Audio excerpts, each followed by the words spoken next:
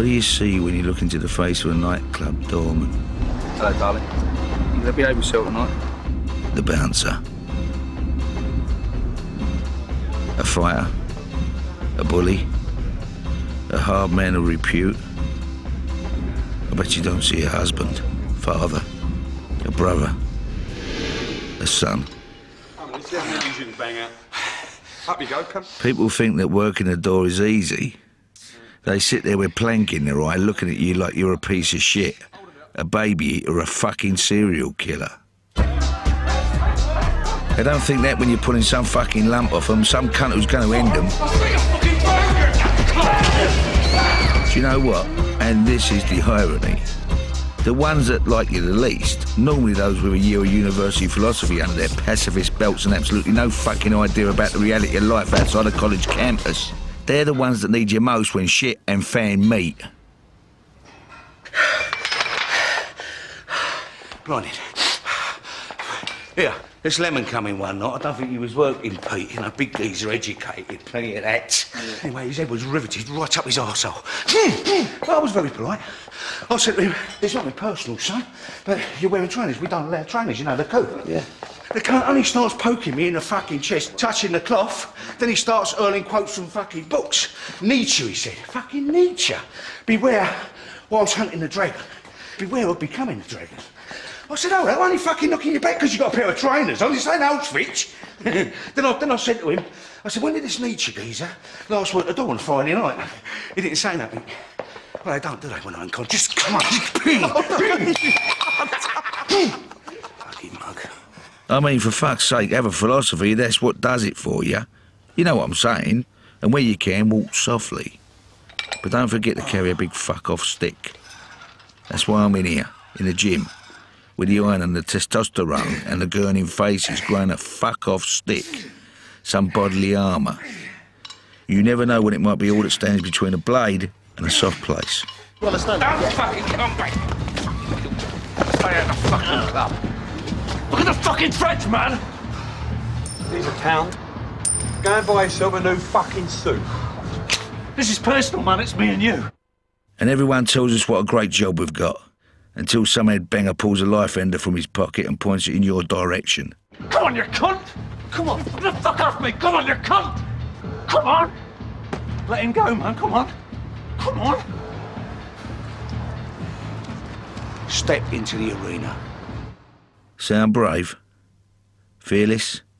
Take a closer look. The foot tapping is to hide the tremor of fear that has made its way to my knees. We're all full of fear, to the brim.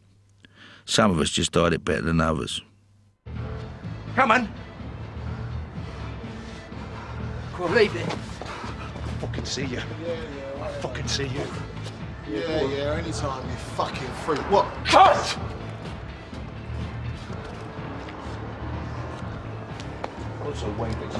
Cunt! Just because they walk away don't mean they ain't coming back. It definitely don't mean it's over. Right, come on, let's liven it up. Sit ups. You think I'm jesting? You think that this is not a serious employ? Three of my mates already got their young names in the obituary column because they underestimated the threat. Steve, young guy, barely out of Pampers, didn't comprehend the crack. He took a Saturday night baseball bat across the Swede and died on the Tuesday. Jimmy, funny man, he'd have you bursting your corsets all night. Broken glass in the neck, five pints of red in the beer sticky carpet before we could even get to him. And then there was John, didn't log the threat. Well, most of the fuckers never come back, but some of them do. And it only takes one. You should have stayed switched on. Get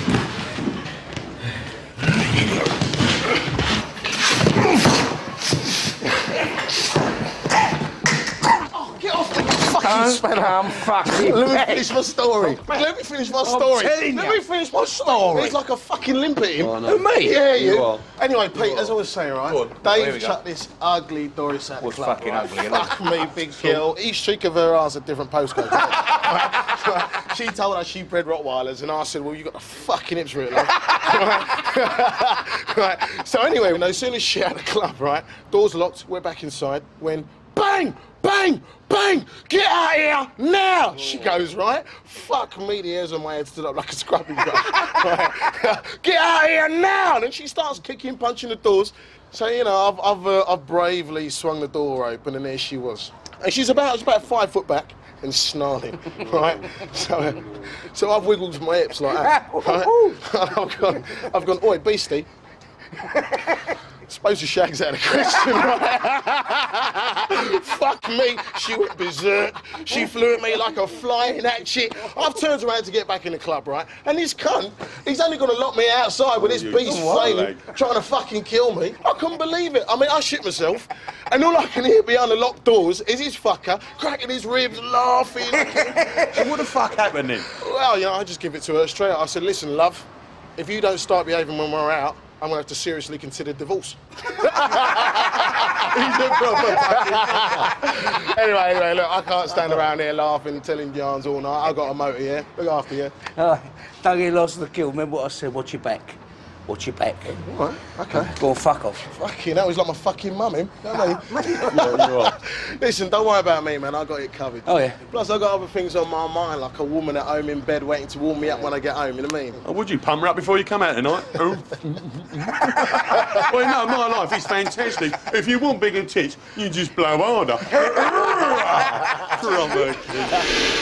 The old samurai have a saying after the battle, tighten your helmet straps. You take care. So the end of the shift is the most vulnerable time for a doorman. You're tired. You're looking forward to a quiet drive home down empty roads. Frankie baby over the airways. A thought away from a warm bed. In your mind's eye, you're already there. You're slipping under the blankets, head on the pillow. Your lady emanating heat. You mould yourself into her back. She stirs. She's sleepy. Turns into you and kisses your face, and you're in heaven.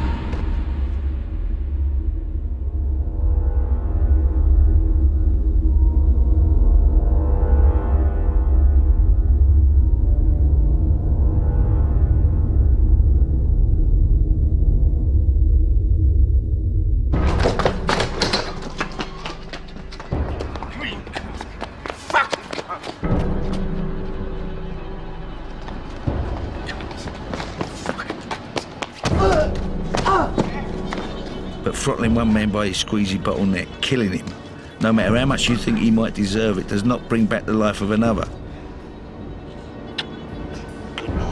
It might solve a short-term problem, might even bring a little instant gratification, but it won't.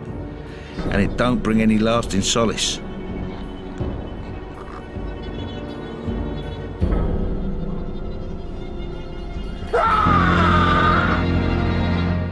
What it does bring is a consequence that unfolds and completes itself.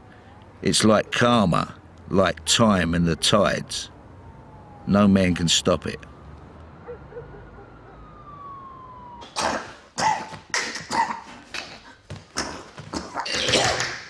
Stick to the weights, eh, lads?